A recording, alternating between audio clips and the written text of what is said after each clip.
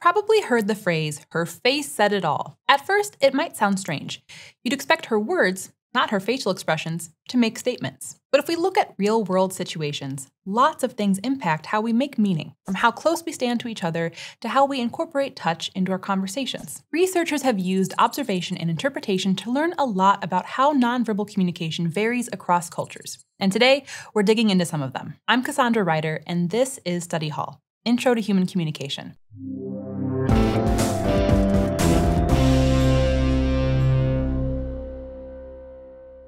To categorize some of the nonverbal influences on our communication, we have some different terms to discuss, including proxemics, chronemics, and haptics. Proxemics, or the study of how space and distance impact our communication, looks at both literal and figurative space. Figurative space might sound odd, but think about how we describe relationships, like a close friend or a distant relation. Literal space has an influence too. Researchers find that different cultures have distinct ideas of personal space, or how close we'd physically stand when talking to someone. These distances also shift between acquaintances, friends, and family members or romantic partners. E.T. Hall labels the zones where our proxemic distance shifts as public, social, personal, and intimate. At a concert, you might feel totally comfortable talking with someone standing right in front of you, but in a park, that kind of closeness might seem really weird. Certain environments, like public transportation, force us into closer proximity than usual with strangers.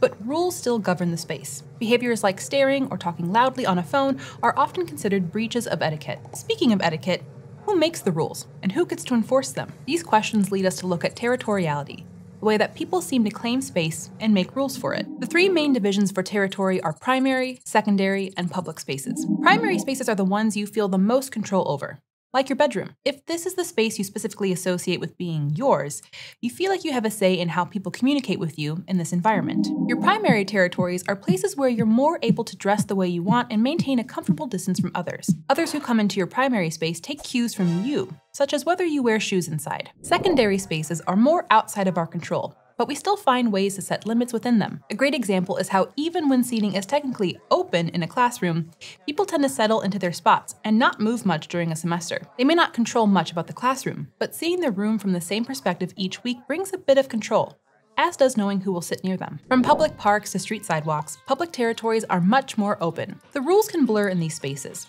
Some people might see a sidewalk as a great spot to sell their music, while some see it as exclusively for walking, and others prefer it to be open to biking or skateboarding. If you've ever seen a free concert in a park, there are often people setting out chairs hours before the music to stake a claim, even though it's technically public space. Chronemics refers to the study of how time impacts communication. And clearly, time can be a factor in lots of our interactions. First, consider cultural time. Cultures are often subdivided into two groups monochronic and polychronic. Cultures that are monochronic schedule time rigidly, usually doing one thing at a time. Polychronic cultures tend to see things more fluidly, with less prior scheduling and with the option to let activities blur into each other. A person from a monochronic culture might see someone else as being late to a meeting, which has a hard start and stop. But the polychronic person might actually have been finishing up another meeting and bringing that person along as a valuable new addition to the next one, combining and blurring two previously scheduled events. There's a power element to time as well. Busy medical specialists may have a long wait list to get an appointment and still have people waiting a long time in the office. That's because specialist's time is seen as highly valued and everyone else's time is simply, well, not as valued. If a major world leader or a celebrity gets behind schedule, they have an army of administrators to adjust all subsequent appearances, even if it means hundreds of people are left waiting. Just look at the impact of being late at different workplaces and you'll see how power impacts timing. A new intern is reprimanded, but when a VP is late, people assume she just had something come up. Chronemics also includes how long we talk. You may have met someone who answers questions with only a few words, leaving you feeling like they are being cagey or not sharing what needs to be shared. On the other hand,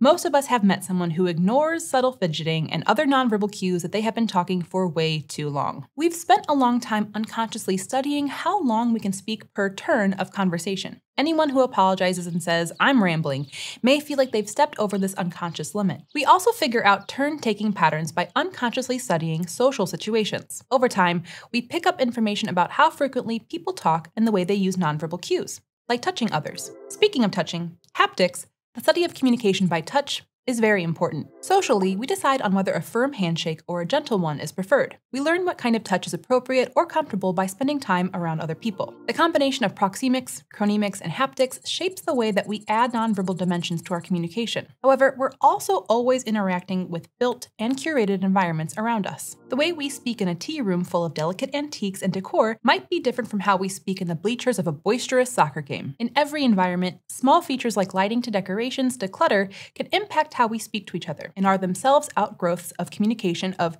whoever owns that space. Let's look at how a combination of these nonverbal signals could work to convey particular messages. Lily owns a farm, including a barn that was going mostly unused. She decided to set it up as a meeting space, and in using it for different kinds of meetings, she realized how much nonverbal cues and environmental factors impact how people interact. A workplace chose to rent her barn for a professional development offsite. They created a space where each table had paper and a pen to take notes, a big screen for slide presentations, and a podium for a speaker. Even during breaks, the sparse surroundings seemed to make the space feel more like a workplace. She saw team members interacting at a professional distance from each other, even as they had casual conversations. They behaved in a very monochronic way, carefully filtering back to their tables after breaks and keeping things moving in an orderly way. On the other hand, when they booked a wedding in the barn, the decorations turned the barn into a space that emphasized love and was full of photos from the couple's life together. The music, lighting, and order of events was much more fluid. And when the big day arrived, it was clear that the attendees were close. There were a lot more hugs at this event, along with louder voices,